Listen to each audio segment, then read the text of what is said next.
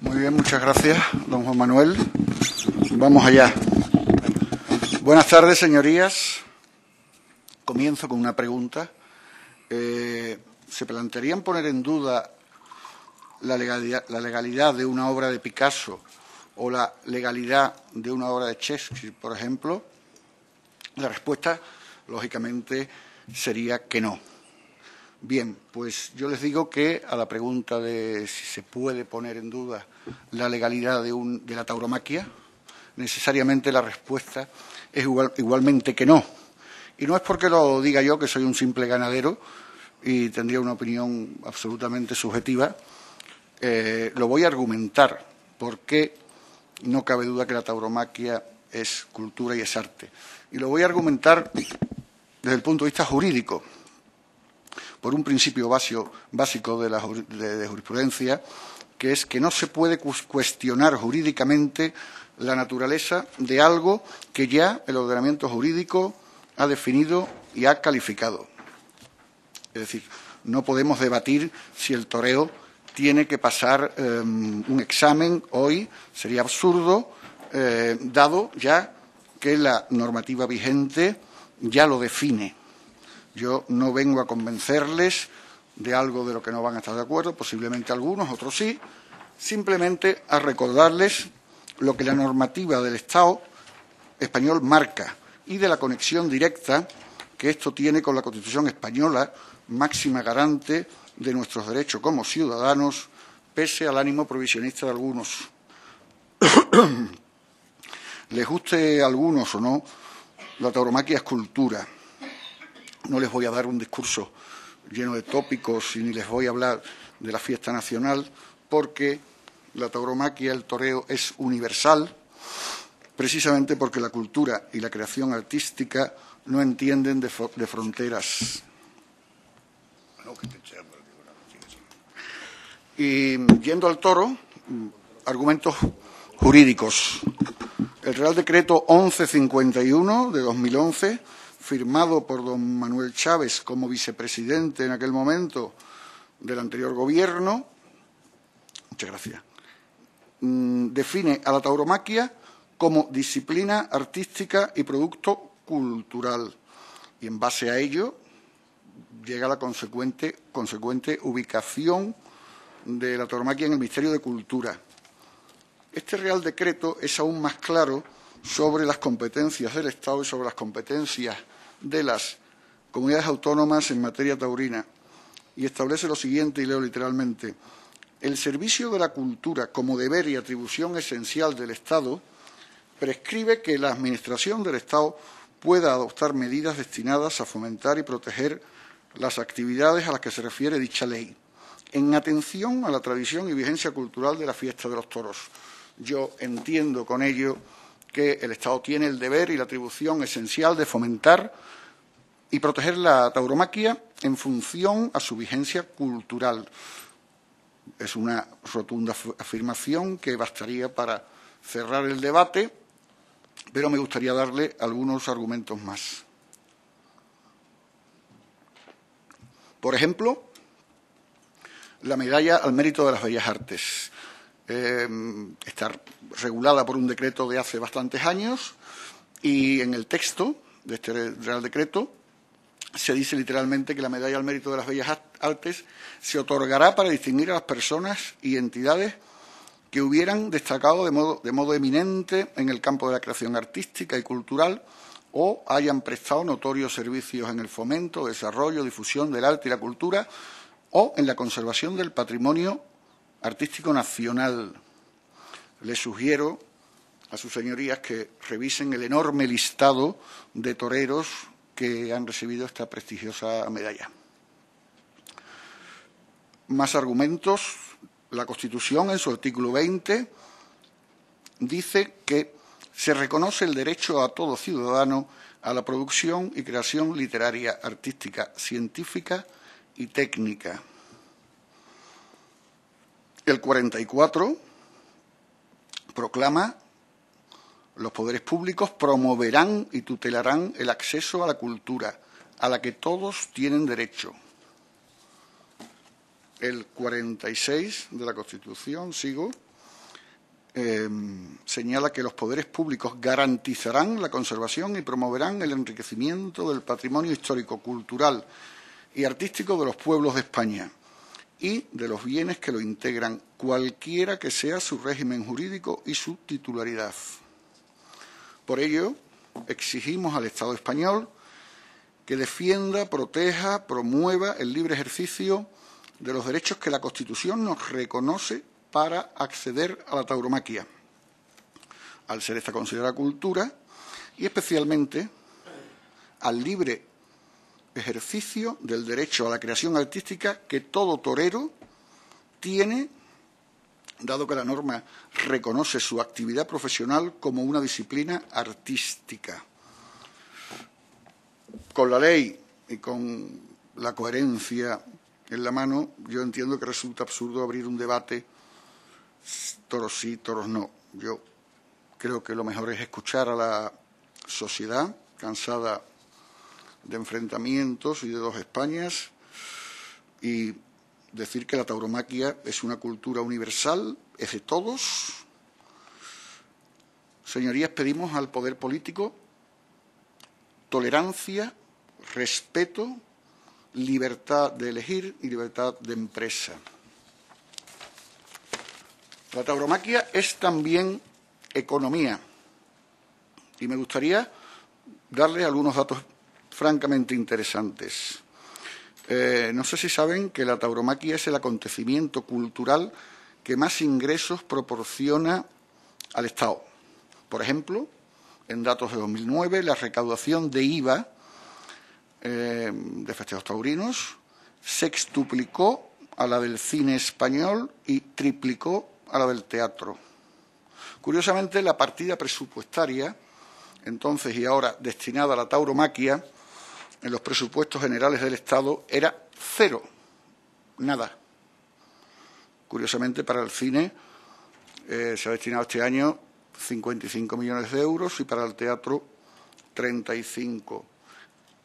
Eh, debo hacer una corrección. Este año sí ha habido por primera vez en la historia una partida presupuestada para tauromaquia que es en concepto, son 30.000 euros en concepto del Premio Nacional de Tauromaquia, otorgado para Cogeda recientemente, y, debo advertir esta salvedad, pero es prácticamente igual que nada. Me gustaría que supieran que las ferias taurinas generan un impacto económico, un impacto económico desde el punto de vista de riqueza generada eh, y empleo inducido, eh, pues lo que se gana en aquellas ciudades donde se dan toros, desde todos los puntos de vista de ingresos directos e indirectos. Eh, las grandes ferias superan en impacto económico los 900 millones de euros al año.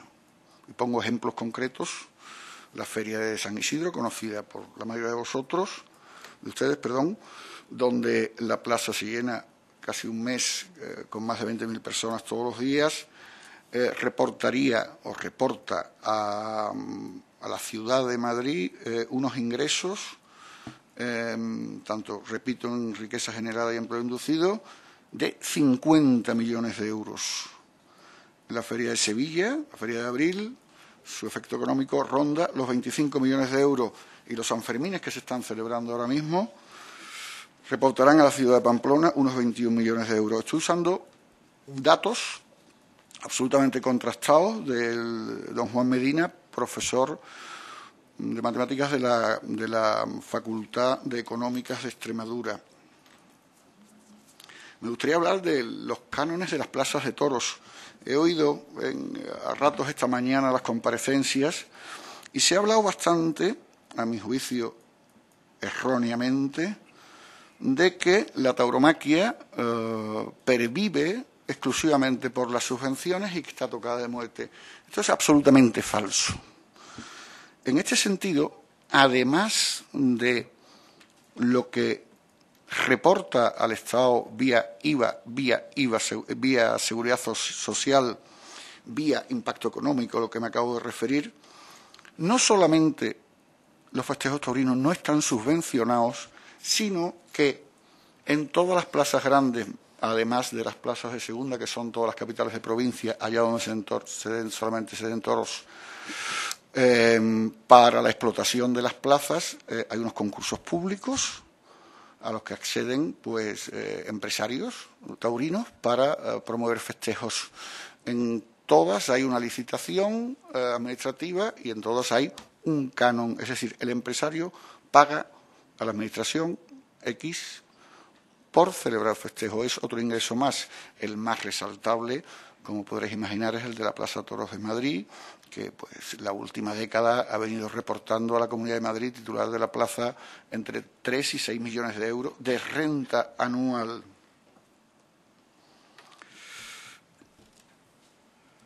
Datos del profesor Medina, con el IVA que se recauda en los toros en un año se podría permitir financiar 175.000 becas no universitarias o se podría financiar el pago mensual del 50% de las pensiones no contributivas. Son cifras que hablan por sí solas. Se acusa también de, que la tauromaquia está en crisis y que ha bajado el número de festejos y que tal. Evidentemente es cierto como lo es que ha sucedido paralelamente en el resto de actividades culturales y en general en el resto de actividades empresariales en nuestro país. Eh, sigue habiendo afición, a mi juicio, más que antes. El problema de los españoles es que no tenemos liquidez y el acceso al ocio es muy complicado. En concreto, si les puedo dar un dato, que el descenso de número de funciones en los toros es inferior al del teatro, aunque para mí sea más especialmente doloroso el de, el de los toros. Por cierto, aprovecho para puntualizar que también se ha divagado en este tema y con anterioridad he oído algunas veces que se acusa a la tauromaquia de tener un IVA favorable. Es absolutamente incierto. Eh, Ahora mismo están equiparados, como sabréis, los IVAs culturales eh, al, 10 al 21%, perdón, pero con anterioridad a esta equiparación el, IVA cultural estaba en el, reducido, en el 8, después en el 9, pero las corridas de toros padecían el 18%. Mi obligación es aprovechar públicamente hacer esta aclaración porque no me agrada para nada que, se, que haya acusaciones no ciertas. Mm, señorías, eh, si piensan que lo que queremos con la promoción de esta iniciativa legislativa popular es buscar subvenciones, que es algo de lo que también se nos acusa, les puedo decir que no hay nada más lejos de la realidad. La tauromaquia es tan atractiva que lleva sobreviviendo a todas las crisis económicas, a los ataques políticos durante siglos sobrevive sin subvenciones y sin patrocinios. Y no queremos subvenciones porque somos conscientes de la difícil situación económica que atraviesa España, afectando a muchas de las familias de nuestro entorno. Lo que queremos es un reconocimiento, el reconocimiento que merece la tauromaquia como bien de interés cultural, exactamente igual como lo son otras manifestaciones artísticas. Por cierto, en este sentido, el año pasado, nuestro vecino país, Francia, su Consejo Constitucional avaló la legalidad de las corridas de toros y estas han sido inscritas en su lista de patrimonio cultural inmaterial. Es una lección más de tolerancia que nos dan al otro lado de los Pirineos. Y en este sentido también se ha dicho varias veces esta mañana que, que los toros están prohibidos en Canarias. No es cierto hay una ley de maltrato animal, pero que no impediría, si algún empresario canario, español o peninsular quisiera dar una corrida a toros, se pudiera celebrar. Otra cosa es que tuviera autorizaciones municipales o no, pero en rigor no existe una provisión expresa y jurídicamente se podrían dar. Eh, se critica la tauromaquia de que carece de interés social. Yo, señorías, le instaría a hacer un ejercicio de memoria. ¿Recuerdan cuántos votos obtuvieron en las pasadas elecciones sus respectivos partidos políticos? Entiendo que el, mayor número de votos, el del Partido Popular, con su mayoría absoluta rondó los, sobrepasó los 10 millones de votos, ¿no? Bueno, pues en cuanto al interés social, sepan que ningún partido político ha llegado a 17 millones de españoles, que son los que muestran su interés por la tauromaquia, tal como afirman las encuestas de 2010 de Galup y de Metroscopia, que son absolutamente públicas y pueden consultar en este sentido de 2010 a 2013 no se ha perdido afición, se los garantizo. Y, y, el dato es relevante. No solo no se ha perdido afición, sino que a mi juicio veo más afición en un sector muy importante para nosotros, que es el sector de la juventud. Crecen como la espuma innumerable número de asociaciones juveniles de aficionados taurinos, de aficionados a torear, Y un dato que no me resisto a dar. Eh, ¿Sabían que en el último año que hubo toros en la Monumental de Barcelona, durante ese, durante ese año hubo mayor asistencia en número de espectadores globalmente entendido eh, en la Monumental que en el Palau Blaugrana, que entiendo que es donde juega el Barcelona de baloncesto. Es otro dato que no me resisto a comentar en cuanto al interés social de la tauromaquia. Bueno, a ver qué. La tauromaquia también es ecología. El toro de Lidia es la raza bovina de creación humana más antigua del mundo. Cuando Robert Bakewell en 1750 empezaba en Inglaterra a estudiar la posibilidad genética de crear una raza de aptitud cárnica sobre las razas autóctonas que existían en las islas, ya antes en las marismas del Guadalquivir, en las llanuras de Castilla, los ganaderos de entonces intuitivamente empezaban a crear su studbook, que hemos heredado hasta ahora, y a crear una raza nueva, la raza de Lidia, que es la joya del patrimonio genético de entre las razas ganaderas y es una obra de ingeniería genética fruto de la labor de selección realizada por nuestros ganaderos durante tres siglos. Ese toro es el perfecto guardián de la, de la dehesa ibérica. La cría del toro contribuye a la preservación de la biodiversidad y el mantenimiento de un ecosistema único, es la dehesa, catalogada por la Unión Europea como un espacio agrario de alto valor natural, que se extiende por más de medio millón de hectáreas en la península y donde en una parte importante es el toro su guardián. Con una crianza extensiva y respetuosa con el medio ambiente, se ajusta perfectamente a los criterios de bienestar animal que defiende Europa. Se ajusta de mucho antes que Europa eh, emitiera esos criterios. Los ganaderos hemos cuidado al toro durante siglos y lo hemos mimado. Y sabíamos lo que era el bienestar animal antes de que Europa dictara normas. Y además dispone de una mayor extensificación, terreno disponible en estado semisalvaje que el resto de razas bovinas. Las ganaderías de Lidia por ser razas autóctonas y muy rústicas, suponen una barrera frente a los incendios que en verano nos arrasan, protegen la biodiversidad de nuestro entorno natural, especialmente la diversidad botánica, al ser autóctonas y rústicas, no son tan agresivas como otras razas de actitud cárnica importadas de Europa que invaden nuestra dehesa, evitan el fultivismo y tiene una cosa importante, el toro que fija la población rural agraria en las zonas deprimidas, que como sabréis es otra inquietud que tiene Europa en mantener el tejido rural. Por cierto, hay un gran interés en estos últimos años por españoles y por gente de fuera en el turismo taurino, en conocer al toro en el campo y de hecho muchas de nuestras dehesas se están preparando para recibir a pues a gente que no conoce el toro pero que lo quiere conocer. En este sentido, resumir que el toro representa el mejor paradigma de sostenibilidad de nuestro entorno rural. Y por supuesto la tauromaquia es cultura. Pintores, escultores, músicos encuentran fuente de inspiración a la tauromaquia porque la tauromaquia es cultura.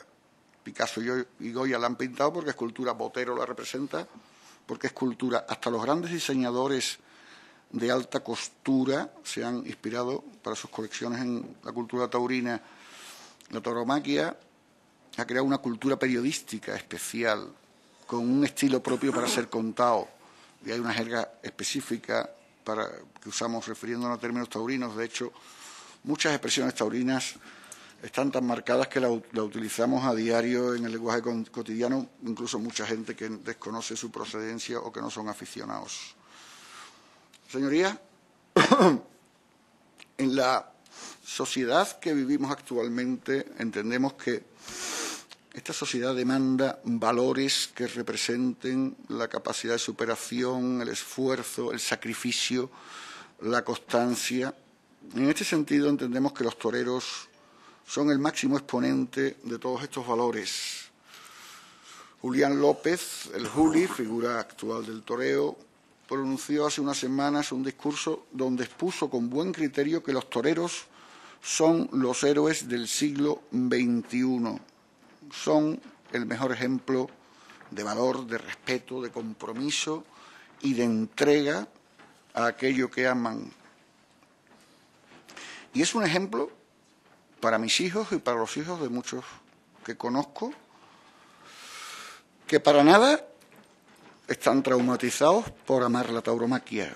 Vemos diariamente en la prensa fotos de niños toreando. Yo les aseguro que yo que he dedicado toda mi vida a los toros, no tengo ningún trauma y no veo comportamientos bárbaros en las plazas de toros, no más allá de algún papel higiénico a Curro Romero. En otros espectáculos, desgraciadamente, se ven espectáculos lamentables. Quiero decir con ello que no veo ninguna relación de, maltrato con la tauromaquia. De hecho, creo que no se ha dicho hoy, eh, no olvidemos el informe del defensor del menor, que no recuerdo exactamente de qué año es, pero que concluyó que no había ninguna relación eh, entre tauromaquia y comportamientos no deseables. Voy a concluir, señorías. No venimos, no vengo a confrontar ideologías, solamente venimos a reivindicar en la Casa de todos los españoles nuestro derecho a poner en valor la importancia de la tauromaquia como segundo espectáculo de masas, como espectáculo cultural que más reporta al Estado e, insisto, eh, está reconocido por nuestro ordenamiento jurídico como disciplina artística y producto natural, con la Constitución como garante de los derechos que tal definición nos otorga acabo pidiendo de nuevo al poder político tolerancia, respeto y libertad. Muchas gracias, señoría. Es cultura, cultura transmitida por tradición, una cultura original, misteriosa, contradictoria, propia y ajena, internacional, se ha dicho aquí. No discrepo con usted en esto. Sí en una afirmación que usted ha hecho al principio, cuando creo haber entendido que ha dicho que eh, ha hecho una afirmación, algo así como que no se podía debatir. Claro, al escucharle a usted eso es como soltar un toro aquí, porque aquí se debate y se discute de todo, de absolutamente todo. Pocas cosas hay sagradas en esta casa. Se discute, se debate y por tanto se cambia. Por resumir, lo que ha sido puede dejar de ser y lo que nunca fue puede llegar a ser.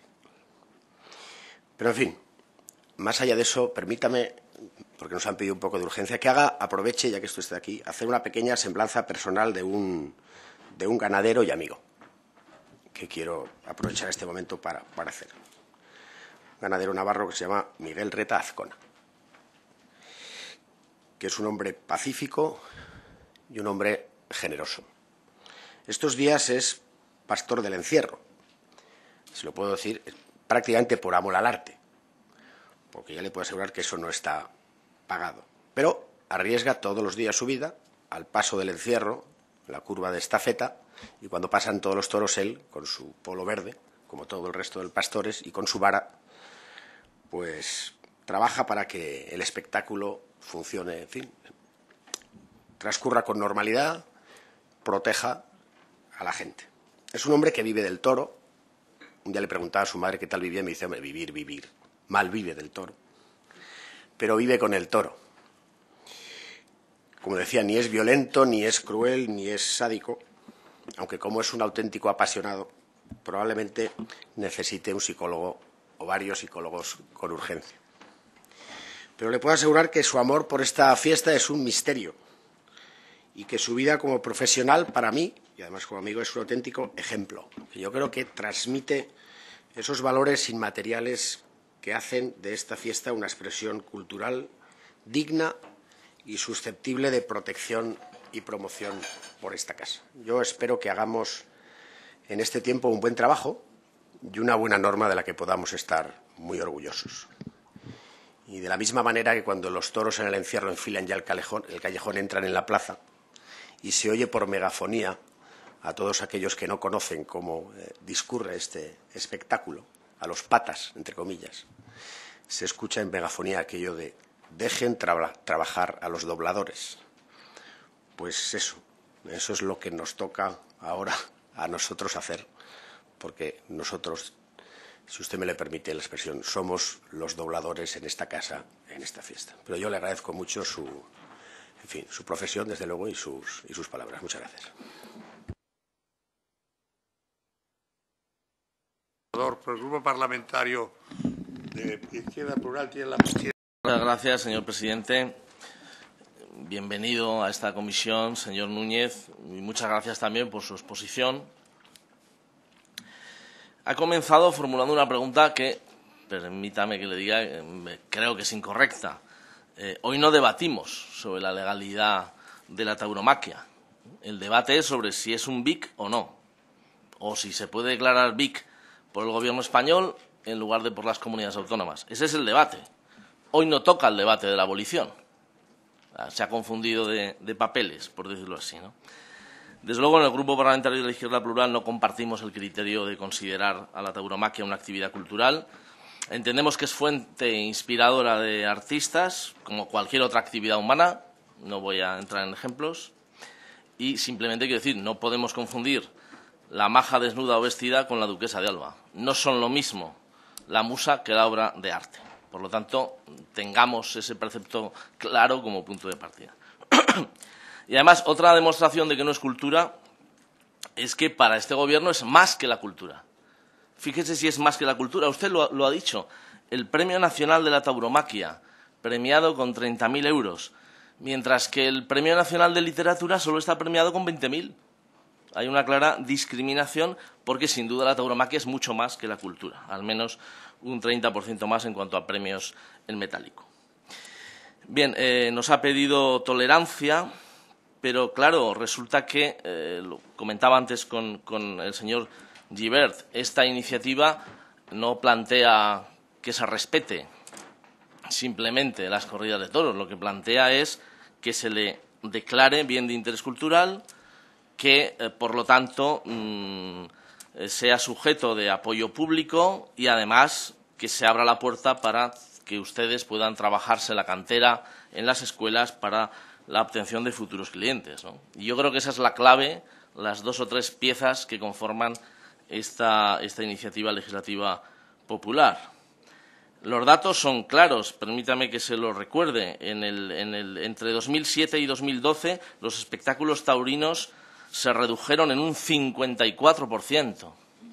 Según la encuesta de hábitos culturales del Ministerio, eh, solo el 8% de la población ha ido alguna vez a algún espectáculo taurino en el año 2011 y en los años anteriores los resultados eran parecidos. Caramba, eh, claro, si producen ustedes tantísimos ingresos al Estado, si producen tanta facturación, si producen tanto empleo, a pesar de tener tan escasísimo público, bueno, ciertamente sobra esta ley y sobra, eh, sobra cualquier tipo de reclamación de apoyo público. Me ha llamado la atención el dato de las encuestas que usted barajaba de que hay 17 millones de personas interesadas en la tauromaquia en España. Les interesará mucho, pero no van. Les interesará mucho, pero no acuden. Igual solo acuden para fiestas si les regala el ayuntamiento o la diputación la entrada y, van ahí a emborracharse y les da igual lo que hay en el centro de la plaza. Pero bueno, la realidad también es esa y usted yo creo que debe saberlo. En su intervención ha dicho una expresión, ha, empleado una expresión muy contundente que me ha gustado especialmente y se lo quiero agradecer. Le quiero agradecer la sinceridad. Usted ha dicho, no está herida de muerte. La tauromaquia no está herida de muerte. Muchísimas gracias por su sinceridad, porque precisamente eh, usted reconoce, de hecho, con esa frase, que no es aplicable en este caso el principio de expoliación, que es algo imprescindible según los juristas que han comparecido esta mañana y esta tarde, para que el Estado pueda declarar bien de interés cultural saltándose las competencias autonómicas. Muchísimas gracias. Ha sido, ha sido muy ilustrativo. Solo, decían esta mañana los juristas, solo si la tauromaquia estuviera amenazada de desaparición si no se aprobara este proyecto de ley, estaría legitimado solo entonces el Gobierno central o las Cortes Generales, en este caso, a aprobar por ley una declaración de BIC. Por lo tanto, creo que su intervención va a ser muy útil cuando, en el futuro, si se aprueba esta ILP, haya recursos ante el Tribunal Constitucional. Eh, por lo tanto, en todo caso, tampoco le importará. Si no estaría de muerte, usted mismo convendrá que tampoco haría falta aprobar esta, ley. Le he preguntado al señor Gibert anteriormente una serie de datos que venían en el preámbulo, el párrafo económico. Él desconocía esos datos, me ha remitido a usted, con lo cual me veo en la obligación de preguntarle. Eh, ustedes barajan que el mundo del toro supone, aporta a la economía española un 2,4% del PIB. Debo decirle que me quedo perplejo porque todo el sector primario, agrario, ganadero y pesquero supone un 2,7% del PIB. ¿Me quiere usted decir que el 2,4% es el toro?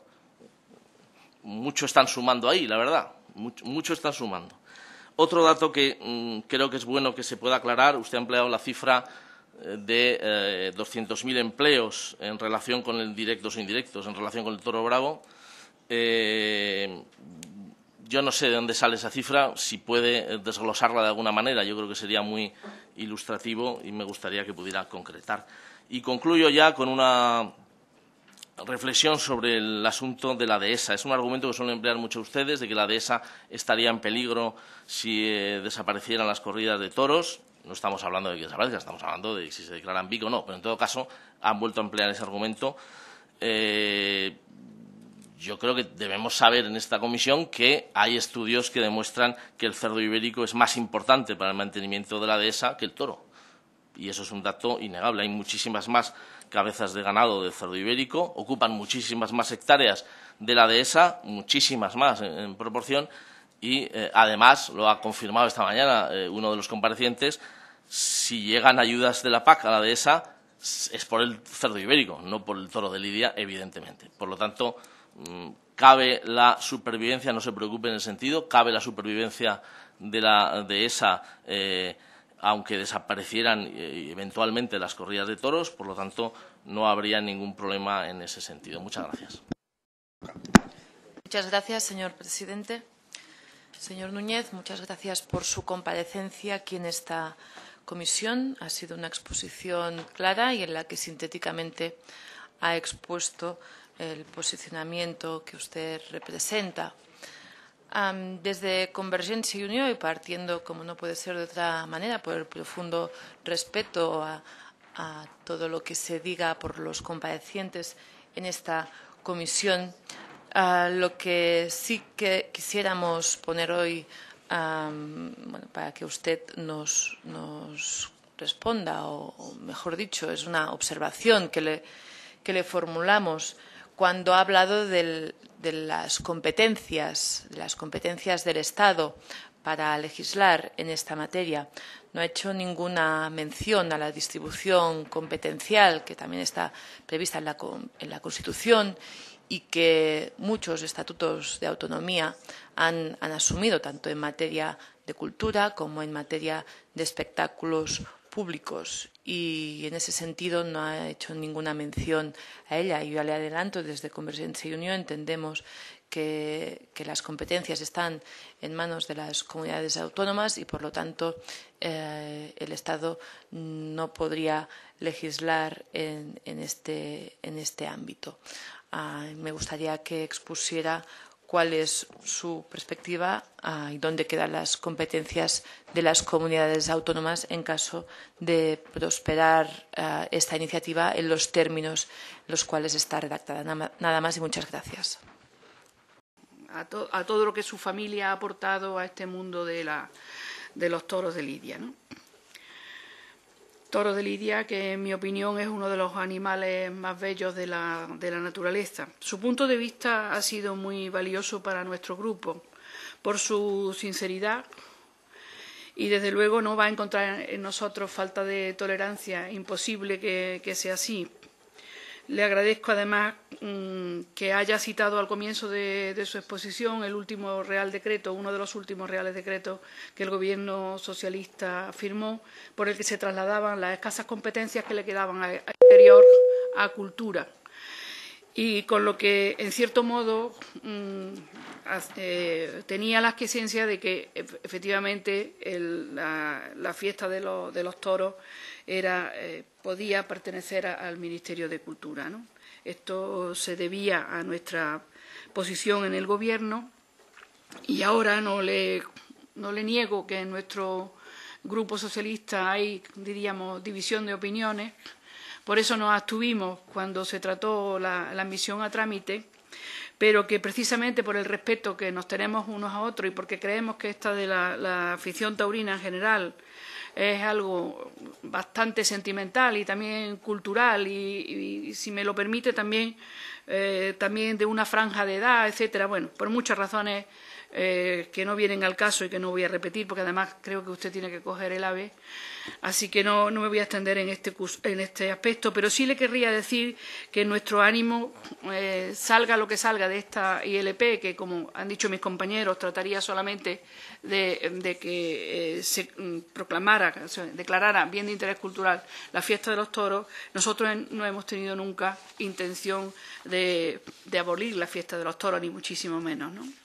Ahora quisiera hacerle una serie de preguntas que tienen que ver más, que con su presentación general, que a mí me ha extrañado que no se centrara más en, el toro de Lidia, como ganadero, pero quiero hacer unas preguntas al respecto. ¿Cree que si se aprobara esta eh, iniciativa legislativa popular y se declararan bien las corridas de toros, tendrían consecuencias beneficiosas, concretas, para esta especie única del toro de Lidia que usted defiende aquí y creo que debemos defender, esta sería la primera. Luego, ¿qué descalabro económico, si se puede decir que sea un descalabro económico, está suponiendo para el mundo de los ganaderos las circunstancias de crisis que estamos viviendo, además de la subida del IVA en tres puntos? He oído algunas declaraciones de usted y he escuchado además y he leído, no sé si he entendido cero, que eh, habría que ir pensando en un abaratamiento de la, de, la, crianza, de los costes de la crianza, para no, no provocar la, la, crisis, vamos, para no aumentar la crisis de, que usted dice que es escasa, pero supongo que cuando hizo estas declaraciones, que me parece que son del año pasado, pues la cosa se habrá puesto eh, aún peor, ¿no? Me refiero a la parte económica. Y ya una última consideración nuestra tierra, yo creo que la suya y la mía, creo que pertenecemos a la misma, a la misma comunidad, todo lo que rodea al mundo del toro tiene una incidencia económica indudable y además muy importante. Yo, si no tanto las corridas, todo lo que significa, aparte de los festejos propiamente dicho, todo lo que significa el mundo del toro, por hacerlo mucho más amplio. Lo que significa de empleo, de creación de empleo y la preservación del medio ambiente, que yo como soy también de una tierra donde hay de esas, pienso que es muy importante, además del cerdo ibérico, que sean también los toros de Lidia. Y además del arraigo rural.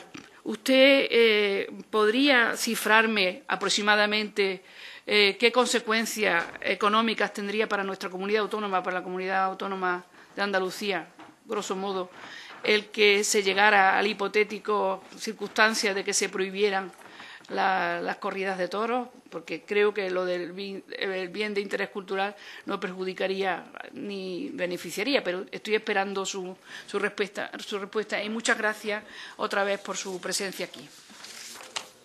Gracias, señor Núñez. Bienvenido a esta comisión en nombre del Grupo Popular.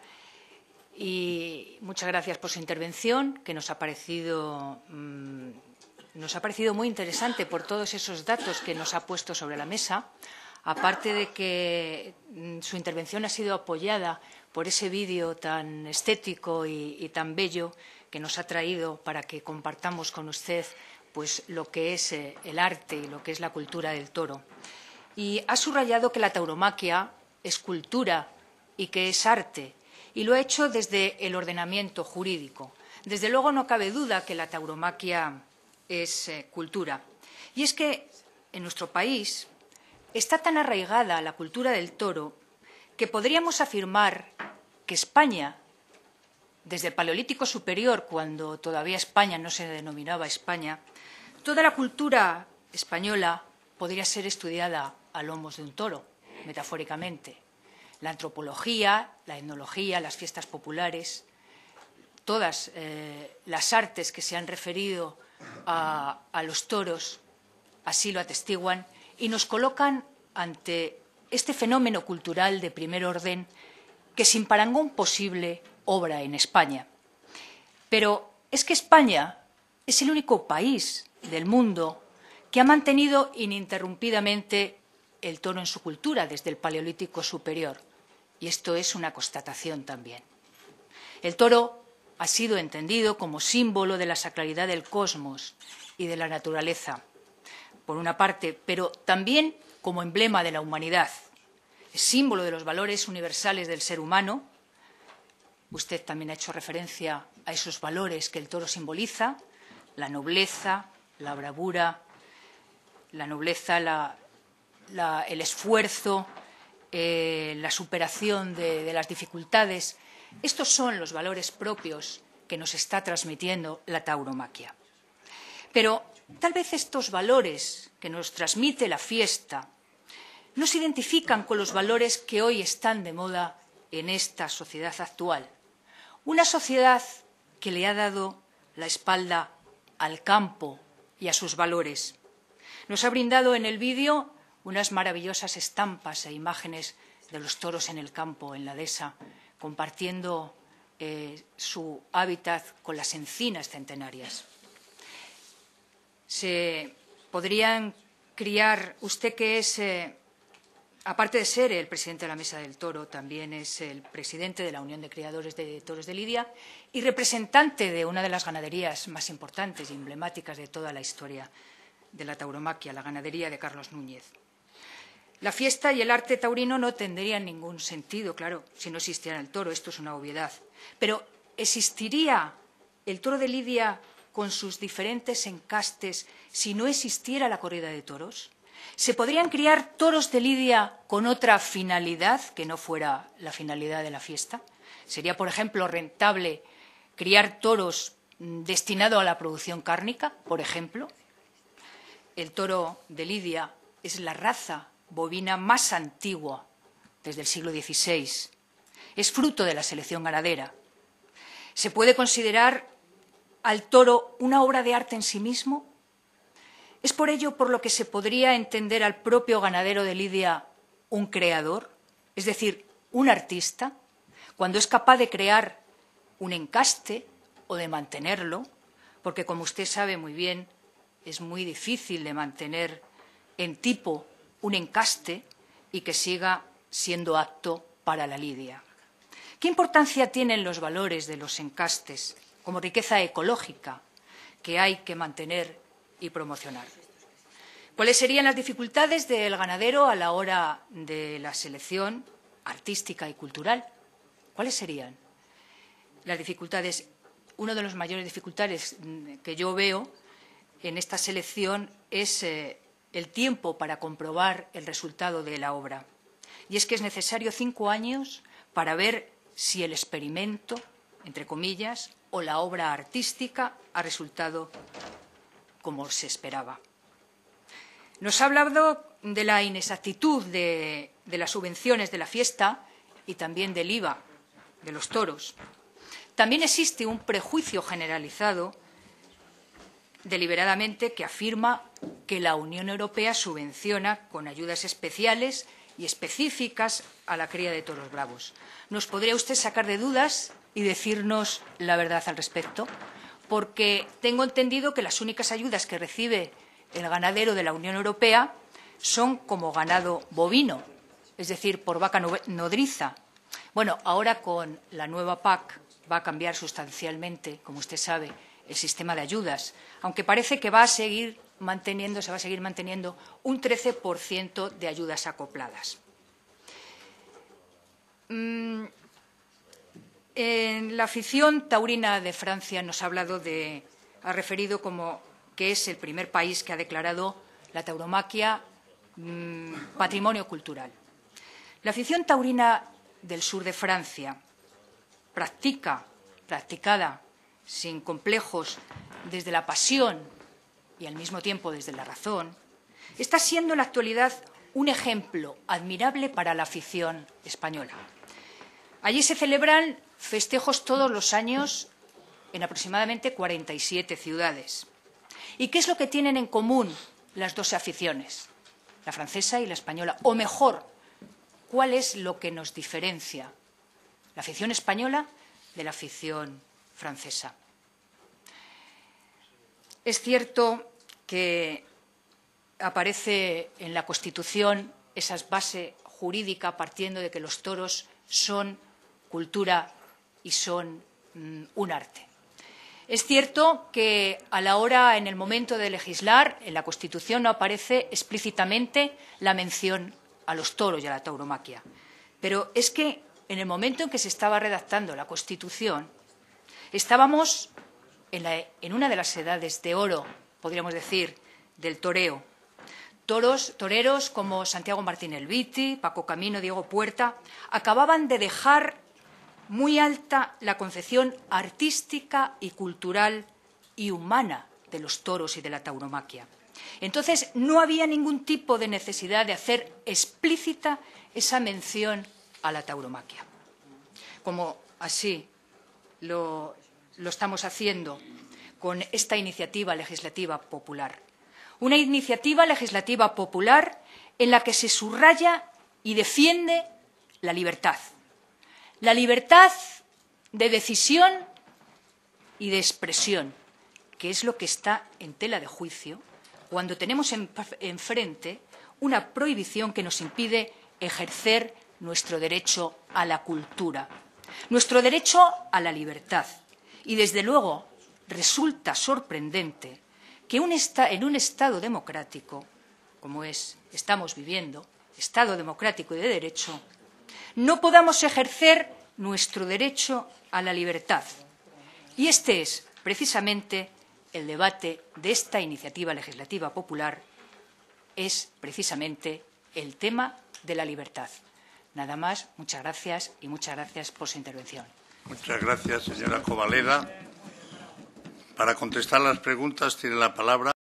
Lo único que quería decir, hombre, todo es debatible en, hasta nuestra propia existencia, pero que entendía que al estar contemplado y definido por nuestro ordenamiento jurídico, eh, no era objeto de este debate. En cuanto a Miguel Reta, lo aprecio muchísimo. Lo único decirle que creo que Miguel está en su sano juicio, no necesita psicólogo, yo tampoco. Y llevamos toda la vida con el toro y agradezco sus palabras. Señor Juste, me va a ser complicado explicarle o contestarle porque posiblemente no nos pongamos de acuerdo o nuestras perspectivas sean tan radicalmente diferentes que lo hagan imposible. Yo le he dado datos suficientes para, por ejemplo, en el caso de lo que el impacto económico de la tauromaquia. A mí me parecen absolutamente suficientes, señor Juste. Si usted no los entiende así, mm, pues eh, no lo sé. En cuanto. Cuando he hablado del BIC, del Bien de Interés Cultural, hombre, estamos hablando, quería recordarle que estamos hablando de una iniciativa legislativa popular y entiendo Yo tengo el máximo respeto a la sociedad civil de la que formo parte y especialmente a las 600.000 personas, eh, que más de 600.000 personas que plasmaron su firma. Bueno, ninguno de ellos es político ni es jurista y solamente piensan en defender su concepto de tauromaquia. Yo creo que hay que respetar a esa sociedad civil. Algunos datos que se han manejado no son exactos, no no, no es cierto, no, no, efectivamente no es el 2,4 del PIB, es imposible, ojalá, ¿no? Eh, no tengo el dato exacto, pero eh, hay una estimación que la más cercana es el 0,0115 por mil. Bueno, yo ni soy político, ni soy matemático, ni soy jurista. Eh, mis datos me dicen que, evidentemente, el 2,4% por, por, del, del PIB es una barbaridad, me, me, suena, no lo tengo lamentablemente cerca, pero que es el 0,015 eh, en los empleos. Bueno, pues, pues yo, yo, no tengo el dato ahora mismo de 200.000 o de 400.000 empleos. Entiendo que los datos que le he dado son suficientes para englobar eh, las cifras que usted quiere saber. Dudar de la idoneidad del toro como guardián de la dehesa, como una de las pocas, poquísimas razas autóctonas que nos quedan en España, pues yo, pues ahí no nos vamos a poner de acuerdo nunca. Es una raza autóctona, de pezuña pequeña, de gran rusticidad. Eh, yo lo entiendo como un tesoro genético que hay que cuidar, obviamente, y solamente sería viable por mantener para lo que está destinado. Tengo muchas preguntas que contestar suya y me disculpa usted si alguna. Eh, bueno, me dijo que no era el debate de la abolición o no de la tauromaquia eh, por supuesto que no lo es, pero viendo la deriva, que llevaban algunas afirmaciones esta mañana, usted comprenderá que mi defensa, en este caso de la declaración de bien de interés cultural, conlleve algunas paralelas. Eh, su roca. Competencias del Estado. Pues no soy jurista. Yo conozco las competencias, obviamente, sin serlo, que tienen, especialmente en tema taurino, obviamente, eh, las comunidades. Las conozco y como las conozco, precisamente he traído los artículos que realmente me interesan porque entiendo que son, sin ser jurista, donde nuestra Constitución y nuestro ordenamiento jurídico especifica que a pesar de estar transferidas ciertas competencias, el Estado podrá, podrá, podrá. A mí me parece que son suficientes y le agradezco su amabilidad también. Eh, señorita Costa, mm, su planteamiento a favor de Tauromaquia me parece que es de agradecer. Sí le diría una cosa. Hombre, mm, aquí, en Cataluña, en Andalucía o en todos lados, cada vez que hay abstenciones o libertad de voto, siempre van en contra de la tauromaquia. No sé cómo pasa, pero siempre van en contra de la tauromaquia. Beneficios concretos para el toro eh, por esta iniciativa, pues para el toro en concreto no. Repito, repetiría, había que preguntarle a las 600.000 y pico personas que mostraron su inquietud por, por la iniciativa legislativa popular.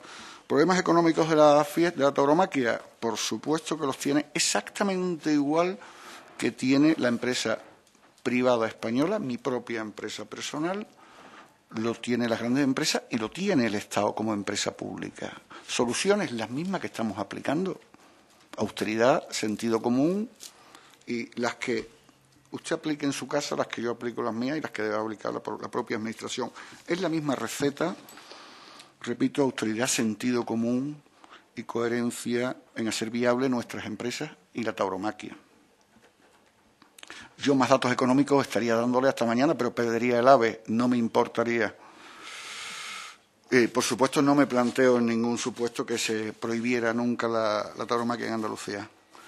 Y, señorita Covaleda, em, el desconocimiento del medio, el alejamiento del medio rural, entiendo exactamente igual que usted, que no solamente influye en problemas que afectan a la tauromaquia, sino a la sociedad en general podíamos extendernos en esto y no es el caso, ¿no? Toro, por supuesto, no existiría sin la fiesta. De hecho, no existirían los encierros si no se lidiaran los toros eh, por la tarde. El ganadero, un creador, hombre, Absolutamente. Yo modestamente me considero un creador. Llevo 54 años criando toros desde que nací prácticamente. Soy un creador modesto, por supuesto. Mi padre ha sido un creador y mi abuelo fue un creador, además de innumerables eh, personas que he conocido en este sentido. Claro que si modelas un toro creas una raza nueva, única, incomparable. Por supuesto que sí. Patrimonio genético de la raza de Lidia cualquier país del mundo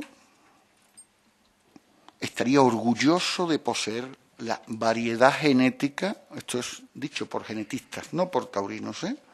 La variedad, la distancia genética, la amplitud genética que tiene el toro de Lidia después de tres siglos de selección, haría que cualquier país del mundo defendiera la tauromaquia con absoluto orgullo, igual que pasaría que cualquiera que tuviera el patrimonio cultural que tiene nuestro país, ¿no? Subvenciones europeas, evidentemente el toro no tiene, no está subvencionado por la Comunidad Europea. Lo que la comunidad, Europa no subvenciona, Europa da ayudas compensatorias derivadas de los convenios, convenios internacionales, el GATT, la, la Ronda de Uruguay, etcétera, que para favorecer a terceros países tenemos que soportar importaciones de carne, cereales, materias primas que no tienen los controles y las obligaciones ni los costes que tenemos en Europa y por eso para evitar que dejemos de producir carne o cereales ayudan a los productores de carne y de cereales, pero no al toro. Eso está claro y es bueno recordarlo porque suele salir. Hoy no ha salido mucho. ¿Diferencias entre Francia y España? Bueno, pues me siento orgullosísimo de ser español, pero tengo que decir que envidio el sistema taurino francés. ¿Por qué? ¿Cuál es la gran diferencia?